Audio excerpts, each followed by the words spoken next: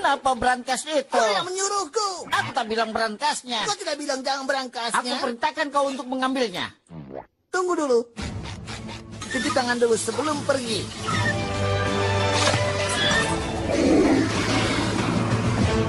Apa yang sudah kulakukan? Aku mengguyur SpongeBob masuk ke toilet. Kenapa itu sungguh hina, bahkan untuk diriku sendiri. Oh, mana makan apa Baiklah, kokinya ada di dalam toilet. Nanti kau bisa dapatkan semua Krabby Patty-mu.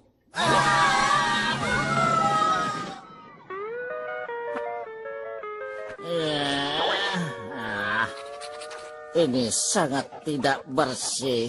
Aku tak percaya aku melakukan ini.